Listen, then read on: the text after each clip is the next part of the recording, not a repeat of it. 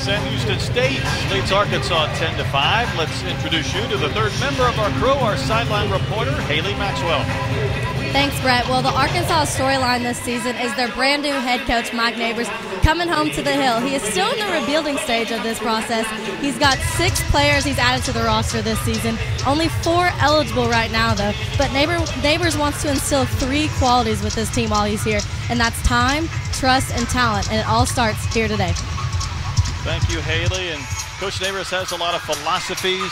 He has some slogans and some mottos. And it's amazing that the Buy-in Manny took place.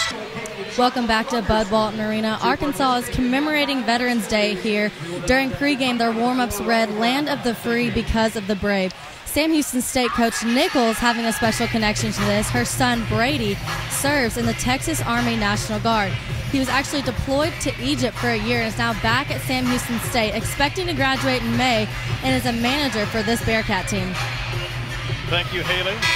Very proud of her son, as you can imagine. And nice touch by the Razorbacks with their red, white, and blue warm-up tosses with their message during warm-ups today. Yeah. Let's check in with Haley Maxwell to ask Coach Neighbors. Coach, you're being out rebounded 30 to 15. What do you do to win those battles here in the second half? Talk about it.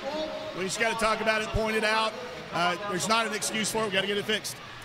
Went on a quick run here at the end. How do you keep that momentum now going into halftime? We need to be able to score so we can get our, our defense set, not let them go against our man the entire time. They got too comfortable. Uh, we need to be able to mix it up in the second half, rebound a little better. That allows us to run. If we don't rebound, we can't run. Thanks, Coach. Yep, you bet. Good stuff from Coach Neighbors. If we don't rebound, we can't run. Important methods. We'll step out here at the half. It is Sam Houston State leading Arkansas by four. Welcome back to Fayetteville. If you haven't noticed, it's a little loud in here today because it's elementary day.